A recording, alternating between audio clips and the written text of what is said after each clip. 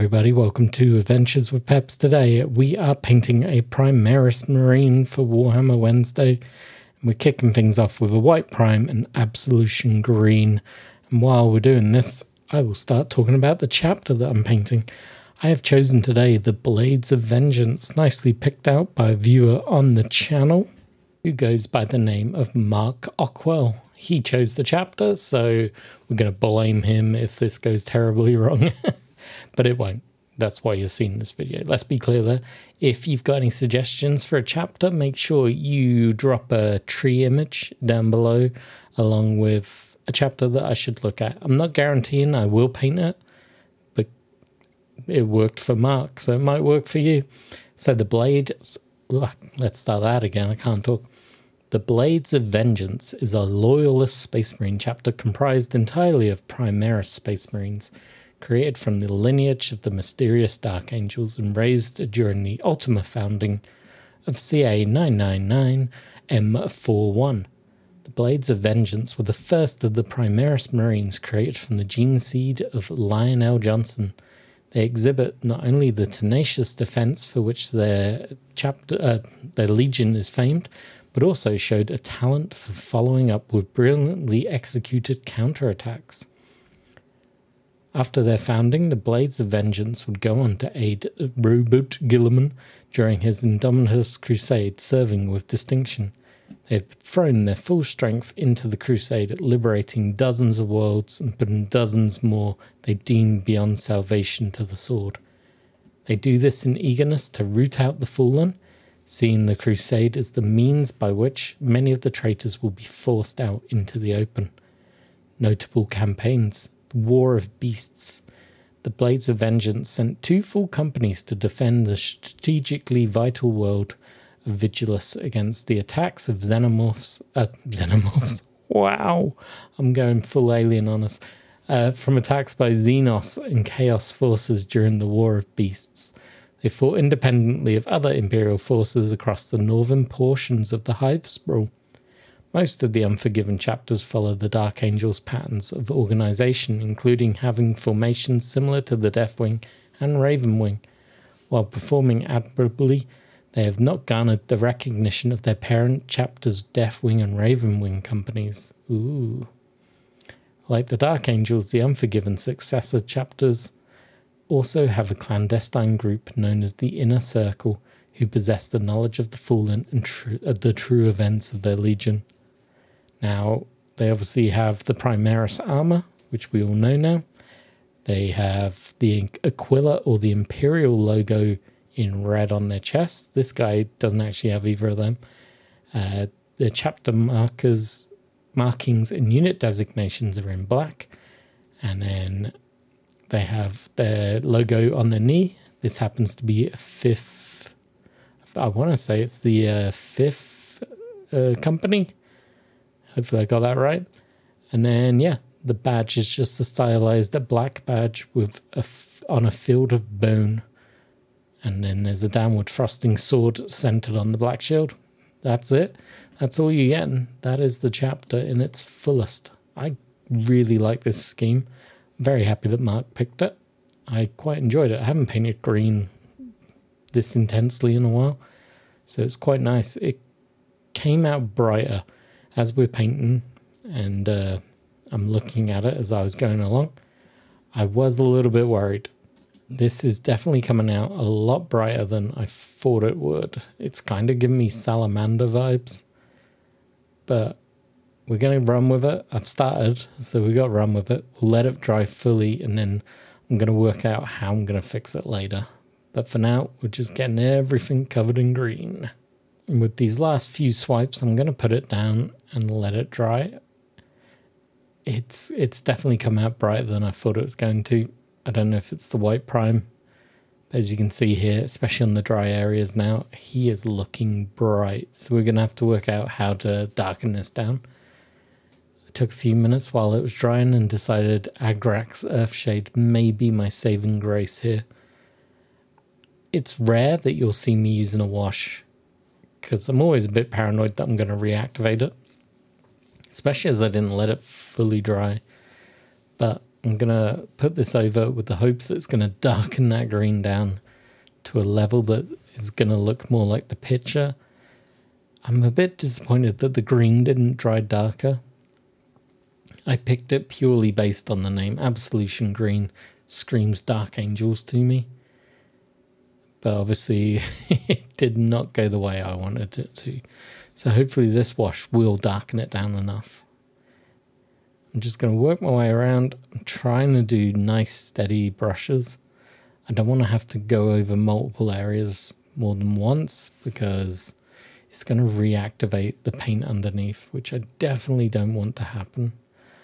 Realistically, I should have left this overnight to dry, but due to some time constraints with me going on holiday, I wanted to get this video recorded and done. So I think that wash worked. The only problem is I made a mess, so I'm just cleaning up everything. I grabbed the Corax white base paint, which is kind of more of a very light grey in my opinion. It's not like the ceramite white. It's got a little bit of a, a greyness to it and I watered it right down. This is probably going to take me two coats to go around, but I'm going to just clean up everything. I want to clean up the shoulder pads because obviously the wash went over it, some green went on it. I was just being a bit sloppy. So I'm just going to clean it up with this and then I'll clean up the other shoulder pad as well. It's going to take one or two coats just to get a nice flat shade across this all. Also, probably going to use this on his knee pad to do the chapter markings it's just a good time to get that done. And hopefully, if I get it done neatly enough, we won't have to touch that knee pad at all, which will make my life a lot easier. With the white now all cleaned up, I grabbed the hardened leather and I'm just going to work my way around, picking out anything that I feel should be leather. Uh, got the gun pouch, we got the hand grip on his bolt gun. We got the strap that's holding his bolt gun over his shoulder. And I think there's maybe another pouch on the belt that I'm going to get done. But I'm just going to take my time. I maybe had a bit too much paint on my brush, but I'm just going to feed it around the model. Try and be as neat as possible now that we've got the green somewhere I like it. And uh, yeah, we'll be able to jump forward actually. And having jumped forward, we dive into the Gravelord Grey, which by now you should all know I use instead of metallics. I'm going to work my way around the bolt gun, get the nozzle, get the magazine, get his telescopes. I'm also going to get the aerials on his helmet and his backpack.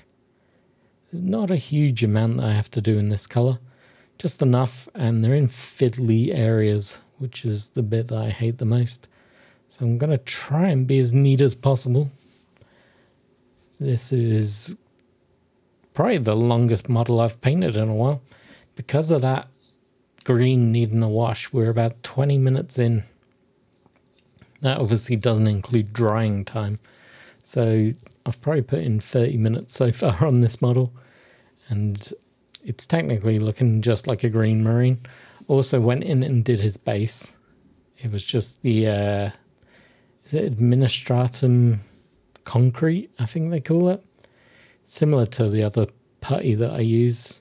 It's just the GW one. I've got a part of it and I thought I might as well use it up on these models. Start slapping it down whilst other layers are drying up. It gives me a chance to let those dry. And while I'm fiddling around with the telescopes and aerials, we can skip forward. That all dry, and hopefully you've hit that like, subscribe, and all that good stuff by now we grab the pallid bone to achieve the bone shoulder pads. Now, it's quite an iconic look on this model, having that bone effect. It's almost a nod to the Deathwing, I guess.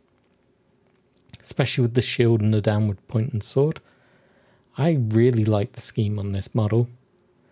If I could find a better green to speed up the uh, the green process, I'd happily paint up a whole squad of these. I really enjoyed painting it.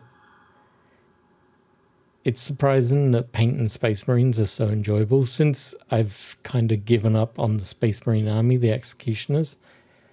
There will be more of them in the future, but right now I'm just enjoying picking out random chapters and painting them. So seriously, if you've got an idea for a chapter that you want to see painted up, drop the name below in the comments so I can see it and I'll start making a list and I can randomly pick from that list and try and make a video out of it.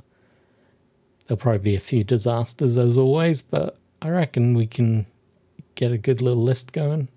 I could have some fun painting some new chapters up. Have a shelf of randomly painted marines. Now this guy has a fiddly face plate, which in the the image I'm using to reference for this paint job, the face plates are all done in bone as well. So I'm just picking that out, hopefully not messing it up anywhere. Gotta go in at some point and do the eye lenses red. That's gonna be a little bit of a pain, but I think that's a future me problem. Turns out that future me problem wasn't that far away. It was about 30 seconds into my future. So I grabbed the blood red, and as you can see, I'm working my way around the bolt gun. Don't want to mess up the uh, the grey that I've got down. I also pick out the grenade that I'd left on his belt. There was a bit of me that was going to do it green, and then I ultimately thought that's going to blend into his armor too much, so it's now red. I'm going to work my way around this bolt gun a little bit fiddly. I'm going to leave the hand grip for now. I'm not sure if I want it to be grey or a proper black, but we'll decide that in a minute.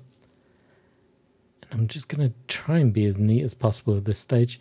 I'm also going to do the pistol in red and his eye lenses. Now, if he had an Aquila on his chest, that would also be done in this red, but he does not. In the picture I reference, I think they they did a slightly darker red than I'm doing. But I really enjoy blood red at the moment. I'm getting a kick out of using it. It's nice, it's bright, it's bold. It's perfect for a Space Marine bolt gun. And there we go. The red is pretty much finished. I think I've got the eye lenses in. I'm just gonna maybe neaten it up a bit more. This is so fiddly. I hate doing eye lenses such a tiny thing. This is my second time going over it. I always get paranoid that if I go over it too much is when I'm going to mess up. But I think we're okay. So I'm going to leave that to dry for a minute and we're going to find the Grim Black, give that a shake, and that should probably be the last stage of the model. So Grim Black, I'm going to use this on any Tuban he's got whether it's in his armor plate, uh, like the knee joints and elbow joints. Also to use it at the hand grip on his gun. So I'm not doing anything special. I am literally just putting the grim black over the green. I'm not too worried if I reactivate the green. That probably will happen a little bit, but it's not going to happen too much and it's mixing with black. So it's just going to look like a dark green if it does happen. And I think that's fine. His armor is ultimately green at the end of the day, so it's not going to look weird. And I think I'm good now. I'm good. We're going to take some glamour shots once this is all dried. And I hope you'll join me next week for the next model in 40k. It's either going to be. I don't actually know. I've got a lot of Space Marine models to paint. I got some Necrons to get through. Uh, I think I've also got some Sisters of Battle. So we've got quite a wide choice of figures to paint. But yeah, if you've got a Space Marine chapter in mind, drop it in the comments below. Make sure I see it, and then I'll add it to the list of to be painted. But until next week, always cheers for watching. Have a great week, and I'll catch you soon. Bye bye.